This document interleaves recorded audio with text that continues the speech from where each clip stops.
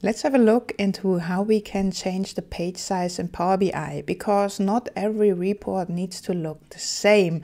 I can show you these examples. They all have a different page size and it's really easy to do this in Power BI.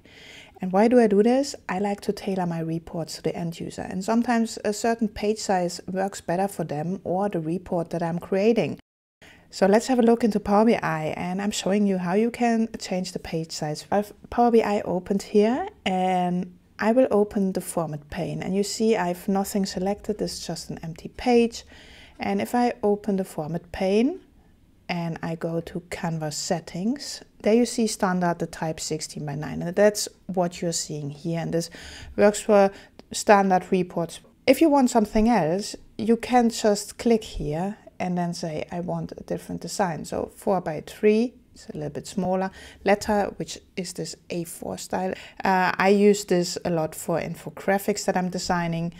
We have the tooltip, and that's really tiny if you look at it. Uh, why is it that small? This is the page size I would use if I'm designing like a tooltip page. I would hide that, and then it pops up as a tooltip. Let's go back to 69, and I show you, if I click now on custom, I have the, the sizing here. And now I can just write down whatever I want. So I could make this a little bit wider or longer. And some bonus tip here. If you open a new page, it will go back to the 16 by 9 type. But if you go to your old page and you say duplicate, it will be in the same canvas setting size that you've created before. So what I'm doing when I'm creating reports is I first uh, think about this page size and then I make a copy of it, which I reuse all the time.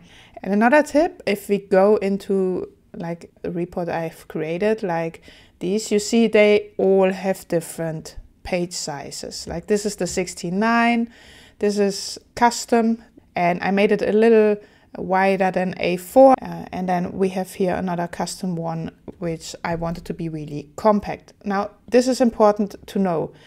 When you're designing something, also make sure you go to View and then Page View.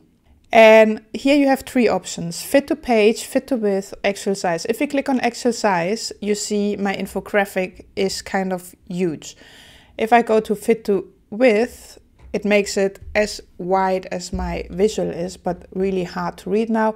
And if I go to fit to page, it will fit my report on one page. You need to make sure to decide how you want your report to look like. Because when you publish it to the Power BI service, it will remember what you selected here. So if you choose actual size and you publish it like that, someone's opening the report in Power BI online, they will see it like this, which is kind of not the experience I want my end user to have. So I make sure that I always have this fit to page selected. I will put the height and width of my three examples in the description so you can have a look if you want to recreate this.